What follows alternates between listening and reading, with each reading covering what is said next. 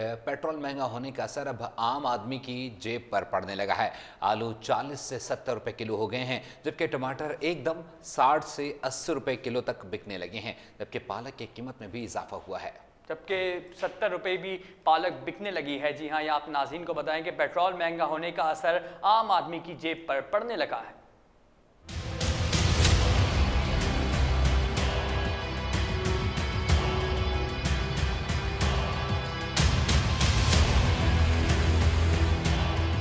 परेशान हुए हैं। जिस चीज़ पे हाथ रखो, वही क़यामत ढा रही है।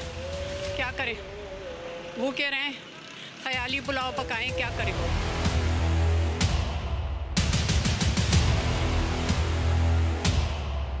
आपको पता है, नवाज़ शरीफ की हुकूमत आई है, सस्ती सस्ती चीज़ कब हो सकती है? आलू, पहले चालीस मिल रहा था, अब साठ रुपये सत्तर रुपये किलो मिल रहा है आलू। टमाटर पहले अभी साठ रुपये था, अब अस्सी, सौ रुपये किलो टमाटर हो गया।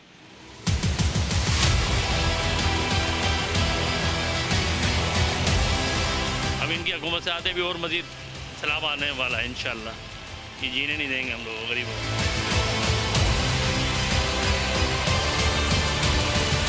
गरीब आदमी कैसे खा सकता है? वो तो भूखा ही मर जाएगा। इस तरह से। अभी पालक चालीस रुपए मिलती थी सत्तर रुपए लिए। लीमू वगैरह हर चीज़ महँगी क्या करें अभी? क्या खाएँगे क्या कमाएँगे?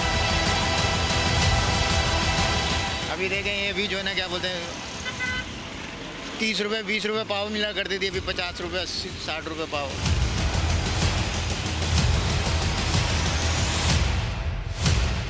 सब्ज़ियाँ बहुत महँगी हैं और जब भी लेने आते हैं तो हमेशा ज़्यादा ही रेट की मिलती हैं।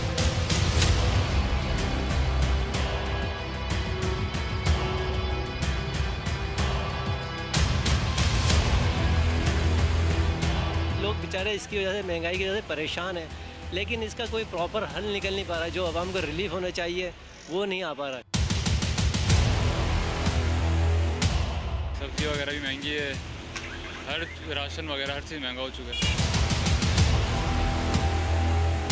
गुजारा कैसे कर सकता है? बंदा गरीब बंदा तो नहीं कर सकता है। अमीरों के लिए तो कोई टेंशन नहीं है।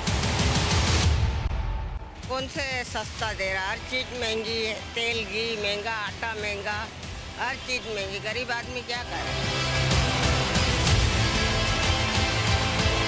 टमाटर ये पूछो अदरक लहसुन पूछो और बाकी जो चीज़ें भिंडी तो भाई बस सिर्फ़ पूछ ले जाए ले नहीं सकते।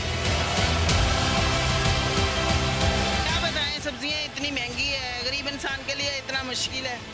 तो अभी तो दालें नहीं खा सकते सब्ज़ियाँ कहाँ खाएँ?